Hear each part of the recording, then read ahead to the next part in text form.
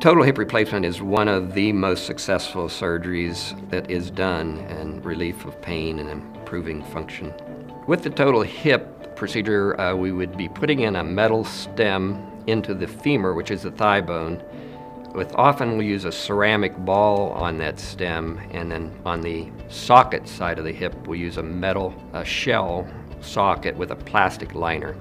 And so we have a ceramic ball gliding on a plastic uh, surface, and that results in very low friction, which uh, we expect to provide for a hip that will last for hopefully the longest period of time.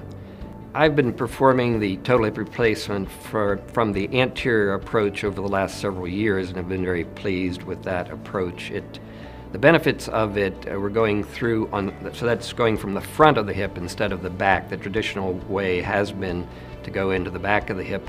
The anterior approach uh, tends to limit the amount of muscle and tendon uh, um, injury. Uh, cutting of those tissues are reduced as a result of going in from the front. It reduces uh, some of the risks of surgery, including uh, risk of dislocation and risk of major nerve injury.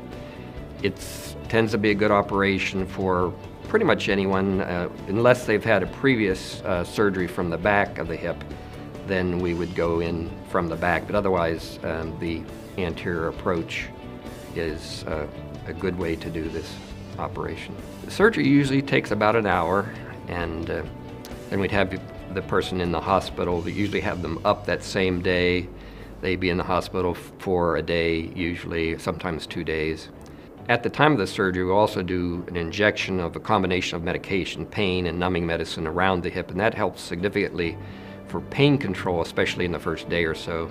The rehabilitation after the hip replacement includes the therapy while in the hospital, as well as oftentimes a physical therapist coming in at home to work with you. And then um, there may be outpatient physical therapy, and depends on the, how one is progressing after the surgery, whether they may need that outpatient therapy. Some people do very well without significant physical therapy, and some people benefit from a month or two of physical therapy. In general, people are very pleased with the results, and they're finding that the pain is not as bad as they had expected to be. The recovery is not as difficult, so we'll have people saying, oh, I wish I'd done this several years ago rather than putting it off. And it is gratifying to see the relief that patients see after surgeries, particularly the total hip replacement, but other surgeries as well.